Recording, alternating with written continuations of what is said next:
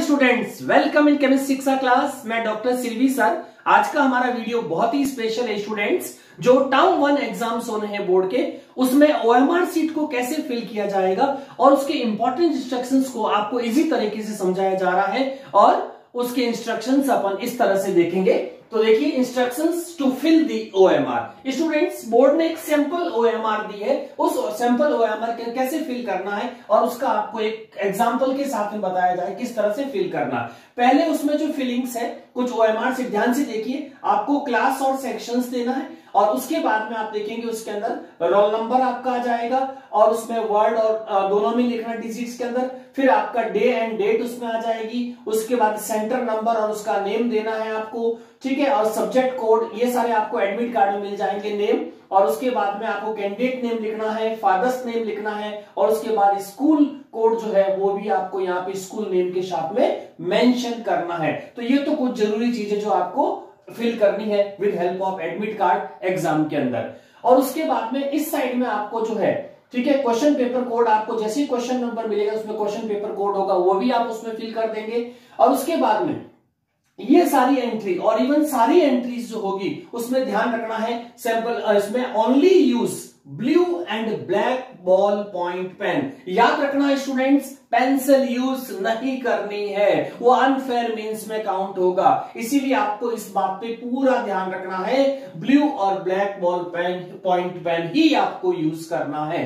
अब यहाँ पे जो आपको इस बॉक्स में दिख रहा है, ये एक सैंपल देगी। जब आप कोई सर्किल डार्क करेंगे तो उस सर्किल में कोई भी आप सिंबल नहीं देंगे। यानी कि सिंपली उसको कंप्लीट डार्क करना है। जैसे फॉर एग्जांपल आपका अगर इतना सा सर्किल है तो उस सर्किल में आपको कोई डिज़ाइन नहीं बनानी है। उसको कंप्लीटली आपको पेन से जो है पूरा का पूरा डार्क कर देना है। कोई भी डिज़ाइन नहीं रखनी है अंदर। सिंपली उस सर्किल को पूरा ब्लू या ब्लैक बॉल पॉइंट पेन जो है, उससे कंप्लीट डार्क कर देंगे। उसको हाफ़ नहीं रखना।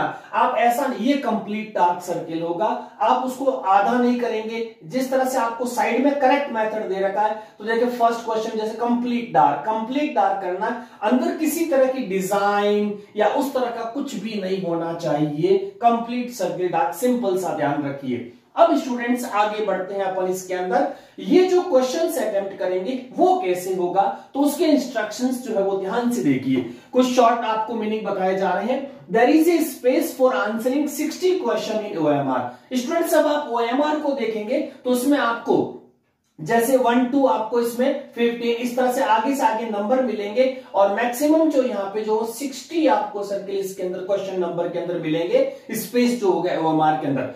अब इसमें ऐसा हो सकता है answer given after maximum question number will not be evaluated इसका मीनिंग ये है स्टूडेंट्स कि अगर आपके मान लीजिए टोटल क्वेश्चन पेपर्स के अंदर 60 क्वेश्चंस मान लीजिए एग्ज़ाम्पल के तौर पे और इसमें से आपको जो है ऑप्शन मिलाकर के 45 अटेम्प्ट करना है सपोज़ आपको।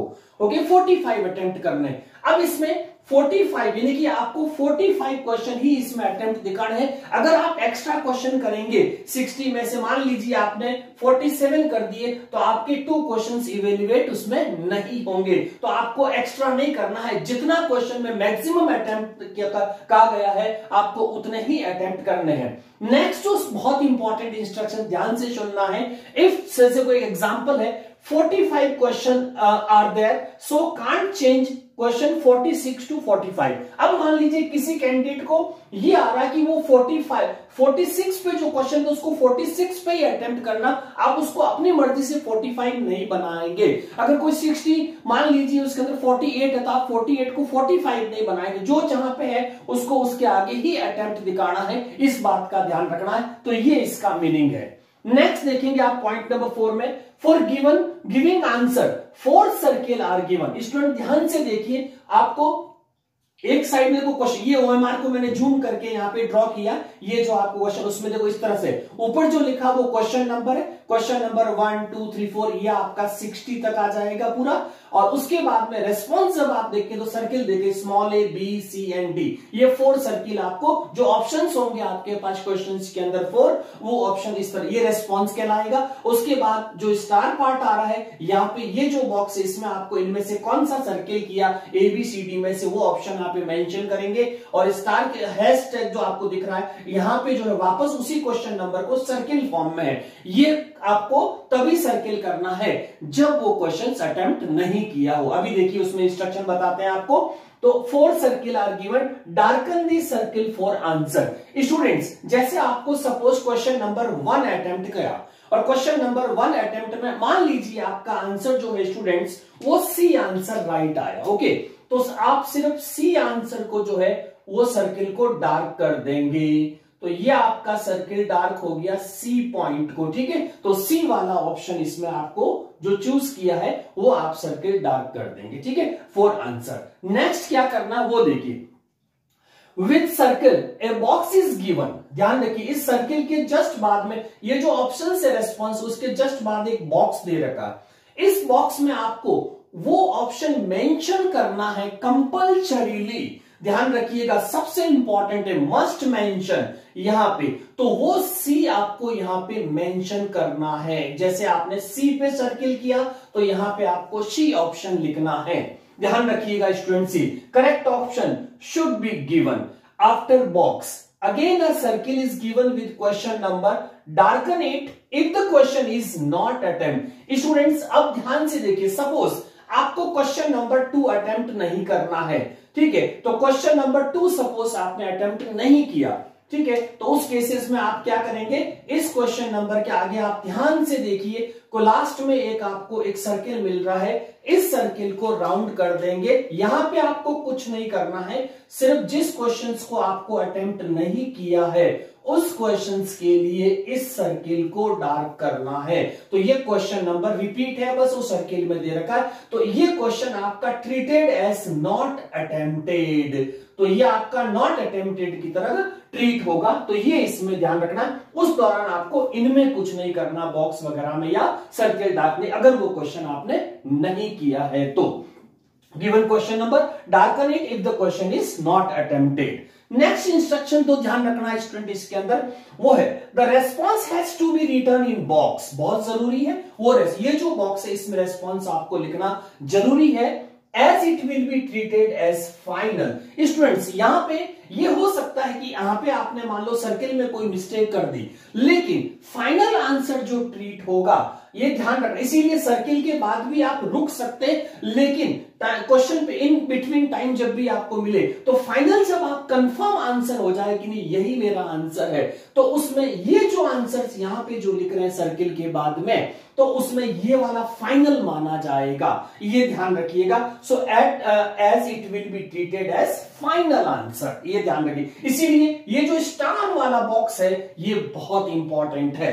उसके बाद में देखिए if the box is empty and circle is darken अगर आपने बॉक्स खाली छोड़ दिया, जैसे मान लीजिए सपोज़ इस क्वेश्चन नंबर थ्री का बी ऑप्शन करेक्ट था, यहाँ पे आपने सर्किल कर दिया कंप्लीटली ये सर्किल कर दिया। लेकिन आपने बॉक्स में स्टूडेंट्स कुछ नहीं लिखा यहाँ पे, ये खाली रह गया बॉक्स तो उस केस में क्या होगा?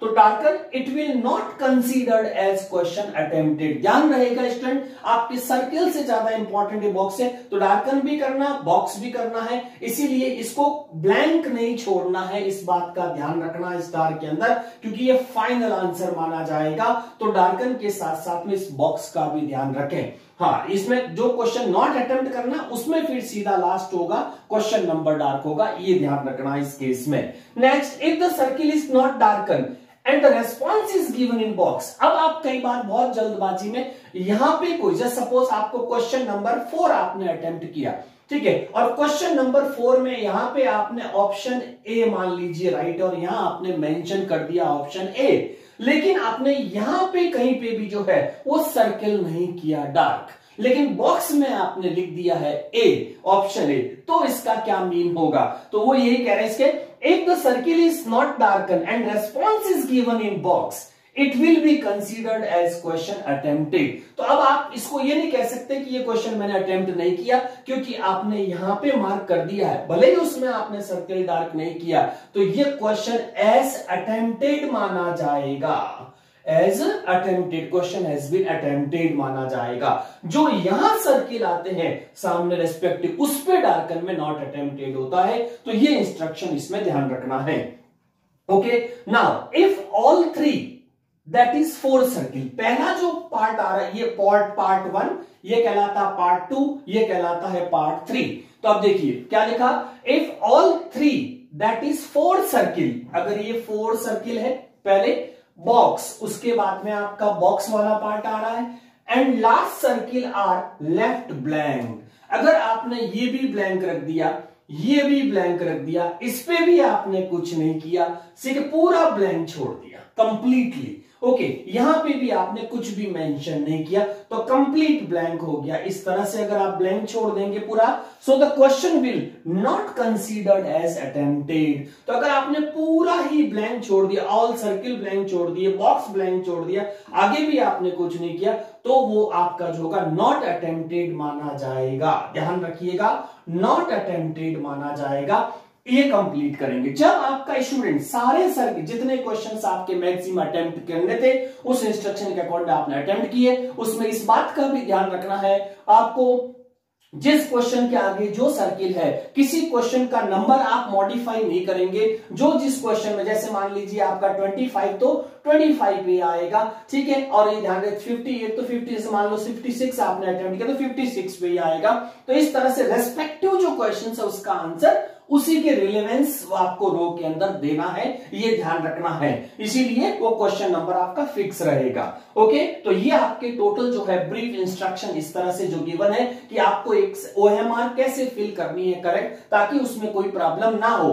ठीक है? उसके बाद में स्टूडेंट सबसे नीचे, जैसे ही आपका कंप्लीट हो जाता है ये अटेम्प्ट का क्वेश्चन पे तो लास्ट में कैंडिडेट को एक लाइन लिखी हुई है I confirm that the particular given above are correct ये आपको अपनी हैंड राइटिंग में यहाँ पे लिखनी है और फिर कैंडिडेट अपने सिग्नेचर कर देगा तो डिक्लेयर हो जाएगा कि ये ओएमआर सीट आपकी कंप्लीट हो गई है। तो इस तरह से स्टूडेंट्स जो टर्म वन एग्ज़ाम्स आ रहे हैं, उसमें आप इस तरह से ओएमआर सीट को एकदम केयरफुली फिल करिएगा, क्योंकि ओएमआर दोबारा नहीं मिलती। स्टूडेंट्स एक ही ओएमआर के अंदर आपको कंप्लीट और बिल्कुल पीसफुली अच्छे से आप इसको फिल करेंगे। थैंक यू फॉर ज्वाइनिंग और ज़्यादा से ज़्यादा इस इंस्ट्रक्शंस को शेयर करें लाइक करें सब्सक्राइब करें।